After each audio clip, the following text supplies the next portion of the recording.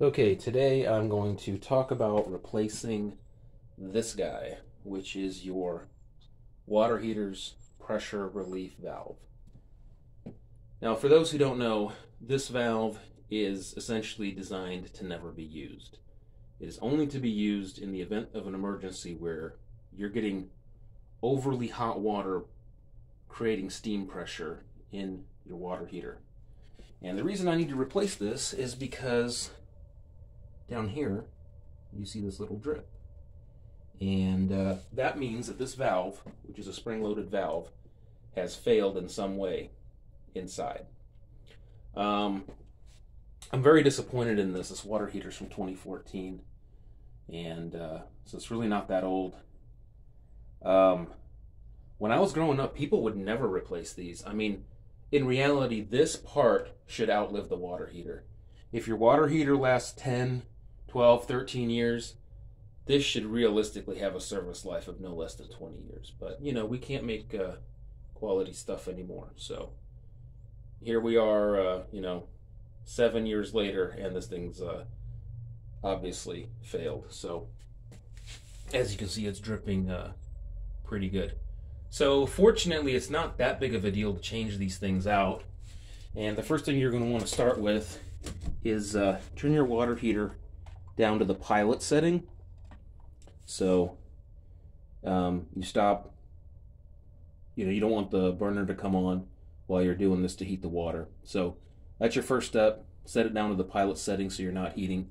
Find your drain valve. So right now you've got water up to the top of this thing. This is your cold water inlet. You're going to want to turn that off. It's your step two. So you've got water up to here. And you need the water to be down to here. So uh, you're going to want to drain all of this. And it doesn't hurt to do that. Um, just to rinse, like wash some of the sediment out of the tank. also, if you're going to do this, some water heaters have what they call an anode. Now, I'm sure this one has an anode inside of it, but most of them you're going to have a kind of, it'll look like a large bolt. It'll look like a large screw. Um, and that's your anode, which you want to replace periodically because that helps your tank from rusting on the inside. It minimizes that. So, step one, turn it down to pilot. Step two, uh, turn off your cold water inlet. And then uh, we'll get cracking on this.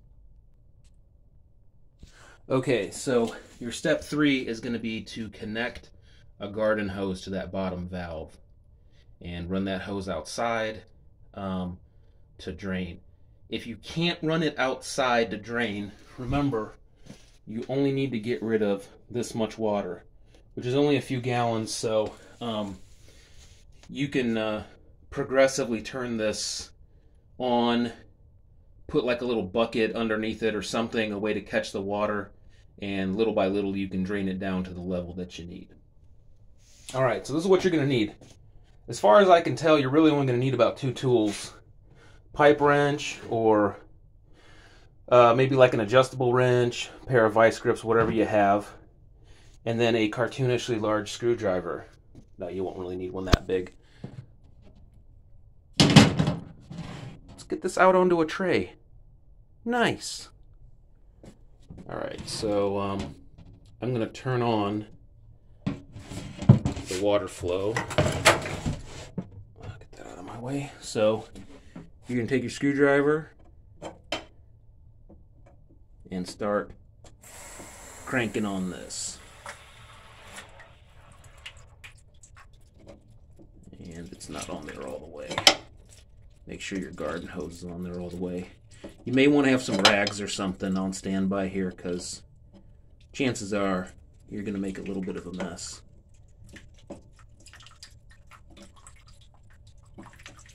Or a lot of bit of a mess.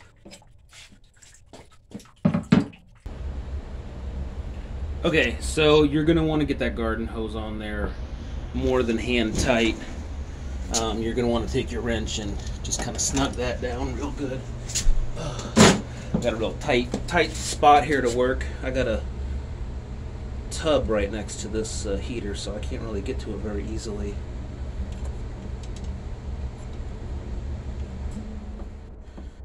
Let's try that again. So yeah, bring a shop vac, because if it's gonna go wrong, this is where it's gonna go wrong, is draining this out.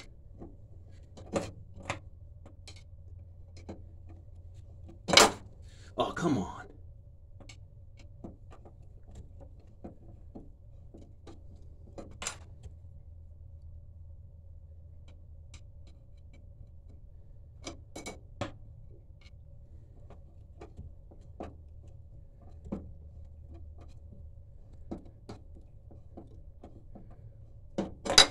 Hmm.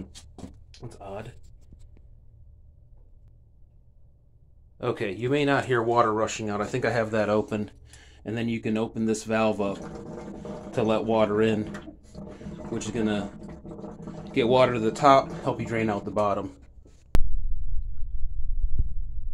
All right, as, as you can see here, I got this out in the yard. It's got water coming out of it.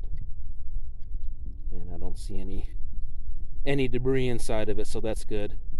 If you see a lot of debris inside the water, um, if the water's real dark or nasty, um, your tank is probably probably kind of corroded real bad from the inside. So uh, that'll be a telltale sign that your water tank may not have a whole lot of life left in it.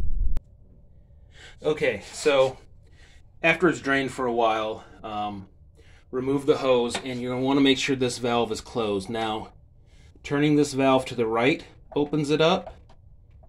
See that? And turning it to the left also opens it up. So, as usual, it's a shitty design valve. So you see now I have it turned just right to where it's not leaking. So once you disconnect the hose, make sure you've got this little part turned in a way where it is no longer leaking at all. Okay, next step, you're going to want to remove this, this down downspout piece. Uh, none of this should be on there uh, very tight. So when you reassemble it, there's no need to go crazy on it. Just snug. Alright, so it should be turning pretty easily. And just remove this piece. You'll save it, reuse it. Don't bother buying a new one. Okay, now that you have removed that downspout, you're going to want to gently move this. Now again, it shouldn't be on there that snug. This one's really frozen up, unfortunately, so I'm going to need both hands to get this done.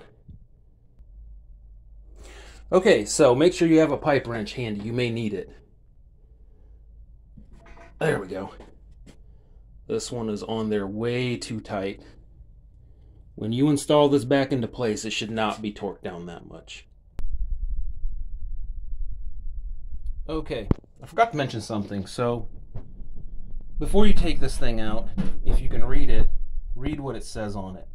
It'll have some numbers, the manufacturer. Um, this one says 150 to 210 degrees. I don't know if you can read that or not. Uh, these are all going to be pretty similar, so you really can't go wrong with the replacement part, but try to match it up as, as close as you can. Um, this one's a different brand, but as long as you're, um, so these are typically going to be three quarter inch NPT thread. Um, just make sure you have the right thread and it is rated for a hot water system. Some of these are rated only for a cold water system. So you're going to want a hot water system rated one.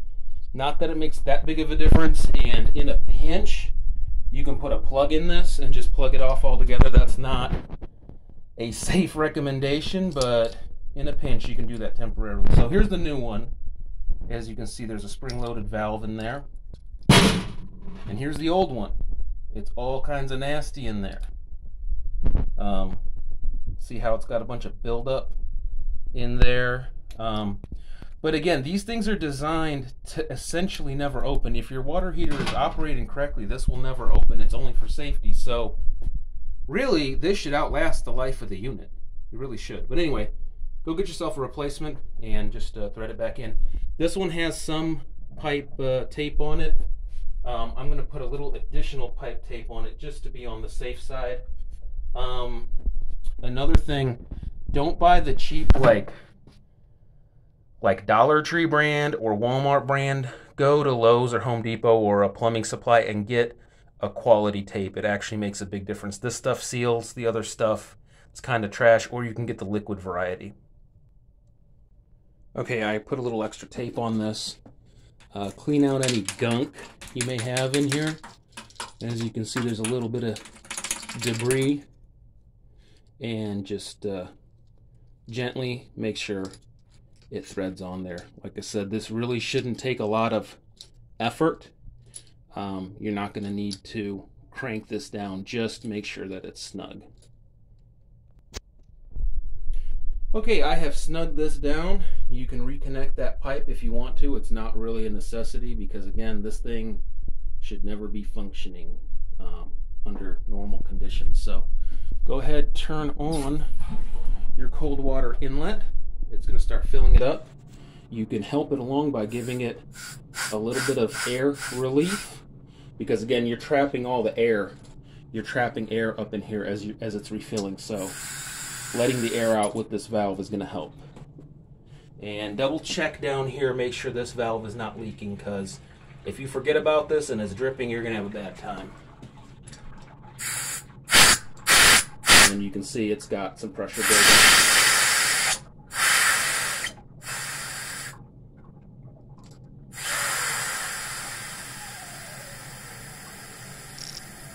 And now you can tell the water level is slowly coming up. There you go. So as soon as that starts dripping, the water has come up to this level and is now filling up properly. So you're pretty much done. Now you can go back, set your heater to the uh, level that you want. Also, you may be noticing this is actually a sealed heater.